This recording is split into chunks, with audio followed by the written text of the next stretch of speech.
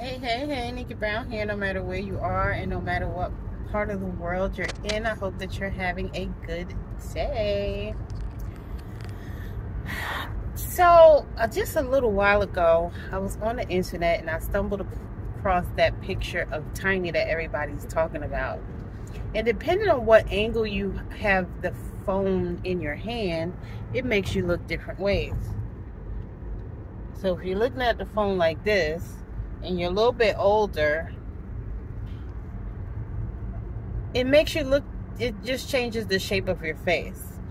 And so to call someone ugly or unattractive, I think it's so unfair. But anyhow, people are just petty. So I've been exploring the city of Atlanta in a way that I never have before. And it's delightful. I'm thankful and grateful that I have the opportunity to do so.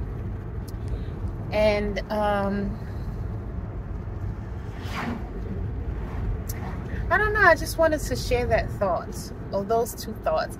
I didn't think I was going to talk about Tiny. I was really just going to talk about exploring the city. But when I picked up the phone, the way that I had it in my hand, it kind of reminded me of that picture of Tiny. Like I said, depending on how you have the camera angle, it can make you look different ways. So I don't think it's fair to judge somebody based on that.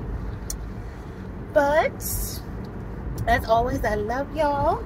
Don't forget to like, comment, share, and subscribe. Um, Atlanta is a great city. Um, I think at every city or town has its advantages and disadvantages. Um, and you just have to see the good um, in people, places, and things. Um, and not be so quick to judge before you've actually given given it a chance.